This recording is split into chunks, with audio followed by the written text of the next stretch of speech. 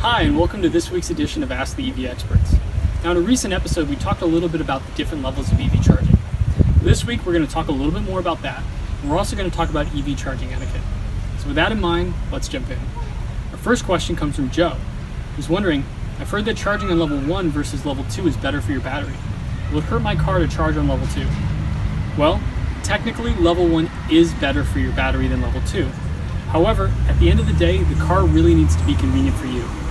So if you need to charge on level 2 to meet your daily needs, then by all means charge on level 2. Our second question comes from Robert, who's wondering, if I see an electric car parked next to a charger that's in use, and there's the door open like so, does that mean I should plug them in? Are they trying to give me a hint? Yes, absolutely, Robert. They are trying to give you a hint and they would love for you to plug them in.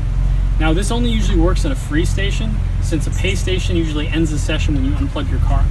If you happen to be at a free station and somebody has the plug door open, by all means plug them in. They'll be very grateful. If you have a question that you'd like answered on the show, let us know in the comments below or email us at info at pluginamerica.org and be sure to let us know where you're from. See you on the next one.